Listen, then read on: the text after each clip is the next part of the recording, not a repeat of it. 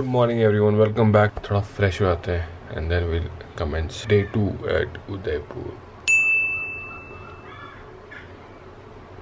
वाह क्या इंट्रो मारा है। चलो mamma come with mum only okay mamma doesn't want you to go सुबह का नज़ारा देखिए। वाह वाह वाह। सामने lake swimming pool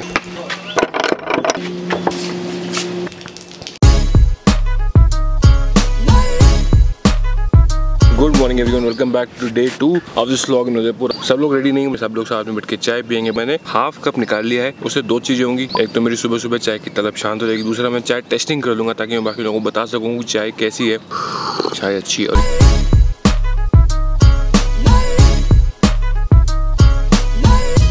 रितु आधा चाय पी ले। Ritu Kiara and family is there and papa is flying drone जो बटन है ना उसको एक बार प्रेस करके छोड़ देना। दबाऊं? हाँ दबाओ। यहाँ बैठ जा प्लीज़ मेरे को बहुत तेज पॉटी आ गई है। So the drone operation have been halted because pressure आ गया। सारी और मैंने पापा को इसलिए बोला ड्रोन बंद करने को क्योंकि मैं ऐसे सीधा खड़ा हुआ था। अगर मैं झुकता तो पीछे से मेरा प्रेशर रिलीज़ हो जाता। जो guys I am back now अब फ्लाई करते हैं drone so yesterday we used this. This is the mosquito patch. This one here. This is one बच्चों के लिए स्पेशली यूज़ करते हैं। यूज़ दिस कंपनी कॉल्ड मामा जो कि हमने व्लॉग बनाया था baby shopping for the best it is a good product for kids because it is all natural उसमें कुछ वो नहीं है बट बड़े भी यूज़ कर सकते हैं। कोई भी कॉल जलाते हैं वेरी बैड फॉर हेल्थ उसका जो धुआँ होता है डोंट यूज़ इट प्लीज़ मेरी गुड़िया ड्रोन चलाएगी पापा के साथ? चाय पड़ी है चाय पी लेता हूँ मैं ठीक है?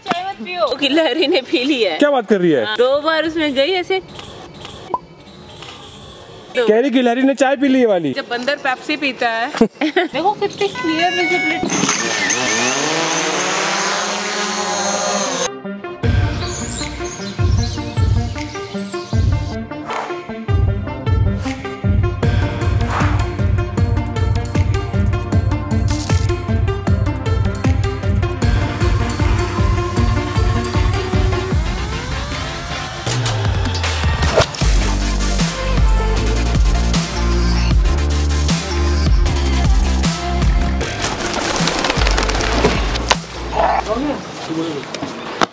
पानी ले लिया ना।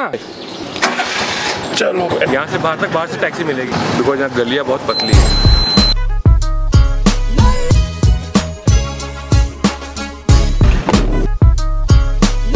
बचपन में कुछ भी कह दो बच्चों को ऐसे। बच्चे मान लेते ना। लेकिन हमें भी बचपन में ऐसे ही बोला गया था। गिरगिट गिरगिटान कैमलियन तो मम्मी कहती थी ना वो दांत गिन लेती दांत गिन लेती और मेरे मैं स्कूल से आया मैं छोटी क्लास में था मेरे सामने गिरगिट। मैं कहूँ मैं उसके दांत दिखाऊँगा मेरे दांत गिन लेगी वो दांत गिनने से क्या हुआ? उसको दांत दिखाने नहीं होते। कहती दांत ऐसे मुँह खोल के बात करोगे ना हाँ। तो वो दांत गिन लेती है दांत गिन लेती है तो दांत टूट जाते हैं। अच्छा तो इसको केले। केले ले आता हूँ केले और सेब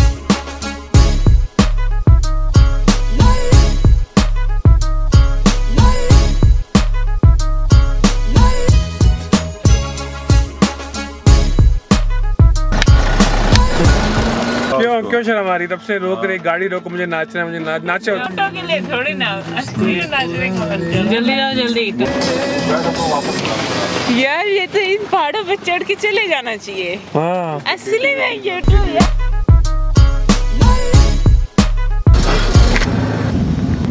आ जाओ बहुत सुंदर है। आ जाओ। Stop here just for two minutes to take a deep breath and enjoy the nature. चलो लंच ब्रेक इज़ ओवर वो आ गया ऊपर ऊपर फोर्ट आ गया। So this is the second greatest wall so जो ये जो किले की दीवार है दिखाएँगे ये ओ हुई। ओ भाई साहब ग्रेट वॉल ऑफ़ चाइना के बाद जो सब सेकंड सबसे बड़ी वॉल है दुनिया में। सोचता है यार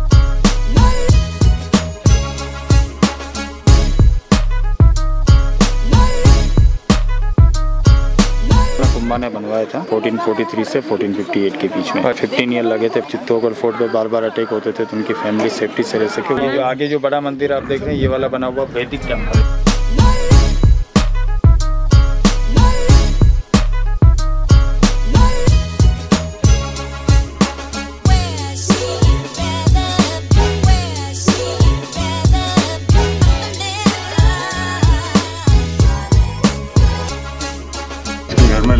एक हील हिल जाती है। हाँ, जब हाथी अटैक करते थे यहाँ से तो इन्होंने ये लगवाया था ताकि हाथी अपने सर से तोड़ ना सके। 400 साल से नहीं हिला था हमसे कैसे हिल जाएगा? क्या ये? पुराने लोग कैसे इकट्ठा करते थे? अरे बाप रे। अभी खाली क्यों हो गया? बरसात ज़्यादा नहीं होती यहाँ पे क्या? ये फ़िल्टर प्लांट है। तो उस जमाने में इतनी टेक्नोलॉजी थी कि यहाँ पे फ़िल्टर करते थे हाँ? राणा प्रताप का जन्म यहाँ हुआ था।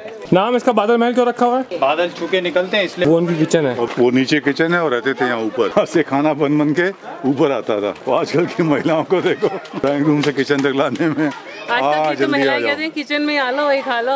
आज बहुत थक गई बहुत थक गई। पूरे बादल आ गए ऊपर से देखो। यहाँ दासियाँ रहती थी यहाँ महारानी के गेस्ट रहते थे। बाथरूम था ये महारानी का बेडरूम था। ये महारानी की सखियों के लिए था और यहाँ पे 50 किलो का दीपक जलता था।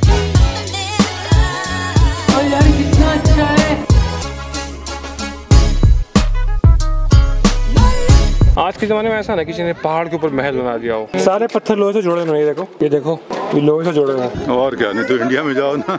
लोहरे वहाँ नहीं गए थे? अरे यार वहीं तो जाना चाहिए था। तुम इतनी दूर गए। अरे गौरव जी वो तो आपने मिस ही कर दिया वहाँ। ये पापा इसकी बात कर रहे हैं इस छत का वो वाला हिस्से की। पहले पुराने जमाने में बहुएँ होती थी कहती थी माँ माँ मैं थकी मतलब वो चरखा चलाते चलाते थक गई। हाँ। तो उसने कहा माँ माँ मैं थक गई। तो उसने कहा बेटा छोड़ चरखा तो चो चक्की। This is the kitchen this is the burger फिर तो लेकिन एक बात सोच ये बरगद का पेड़ साक्षी होगा उस जमाने का। उस जमाने इसने इसने देखा होगा रानियों को खाना बनाते हुए। इसने देखा होगा यहाँ लड़ाई होते हुए। इसने देखा होगा यहाँ पे मारकाट होते हुए। किला पे फतेह होते हुए।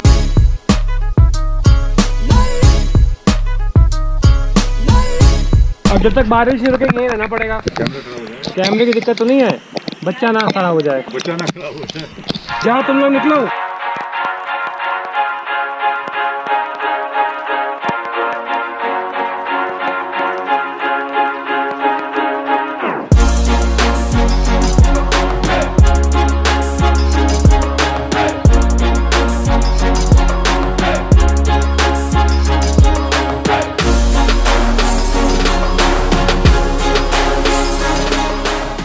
So we had a quick lunch पूरा एरिया सुंदर है ये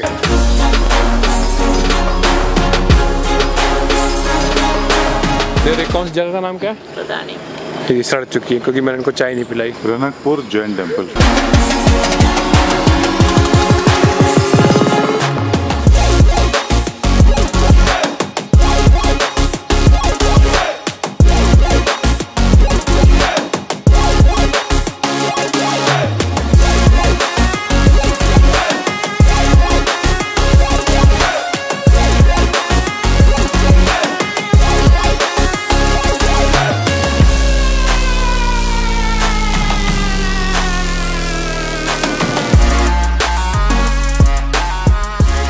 तरफ़ यहाँ पहाड़ियाँ हैं। काफ़ी ऊँचा मंदिर है और चारों तरफ़ पहाड़ियाँ बट बीच में ऐसा है कि कहीं से दिखता नहीं है तो इसीलिए ये मंदिर आक्रमण से बचा रहा। ये तो छोटे बच्चे उतरते हैं हो गई रिकॉर्डिंग आपकी। तो गए रणकपुर के मंदिर के अंदर है यहाँ के पंडित जी हैं गजेंद्र। अठारहवीं पीढ़ी है पंडितों की जो यहाँ प्रभु की सेवा करते हैं। छह सौ साल पुराना मंदिर है दुनिया का सबसे बड़ा जैन मंदिर है। पूरे मंदिर के अंदर चौरासी जनालय बने हुए हैं साढ़े तीन सौ से ज़्यादा मूर्तियाँ हैं यहाँ। बहुत पारंपरिक मंदिर है यहाँ पे तीन परिवार जुड़े हुए हैं।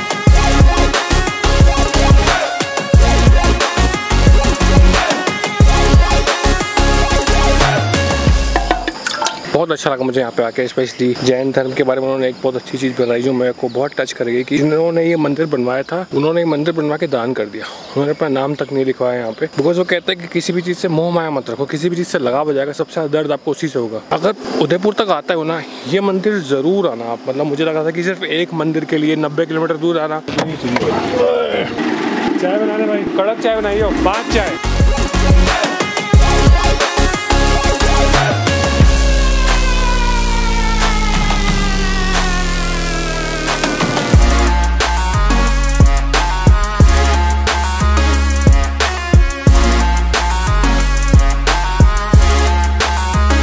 बिल्कुल घर जैसी फीलिंग आई और बहुत ही प्यार से जैसे एक गेस्ट को खिलाते हैं वैसे ऑनर दिया। और लगा ही नहीं कि होटल में एक। डिश को एक्सप्लेन किया कैसे बनती है कैसे तो कैसे यहाँ पे ज़रूर ट्रेडिशन